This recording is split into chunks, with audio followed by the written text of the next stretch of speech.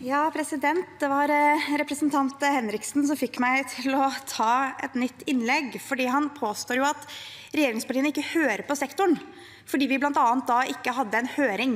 Jeg syns man da skal være så redelig å si at man hadde vedtatt en fremdriftsplan som man i siste liten ønsket å endre på for å inkludere en høring på en fredag, hvor bl.a. jeg hadde to avtaler med barneskoler i Oslo og ønsket ikke å avlyse det, for også å være ute i barneskolene og snakke med lærerne gjør at man får innspill. Så, så redelig tror jeg man skal være. Og jeg mener jo faktisk at veldig mange av de tiltakene som regjeringen har igangsatt, handler jo nettopp om eh, å få flere lærere både til å fullføre lærerutdanningen og for at det skulle være i skolen lengre. Og det er jo basert på innspill vi har fått. Når vi nå innfører den insentivordningen med Lånekassen, så er det nettopp basert på innspill vi har fått fra sektoren. Når vi nå gir mer midler til eh, eh rekrutteringsprogram lokalt, så er det fordi det er det sektoren og universitetene og høyskolene har ønsket.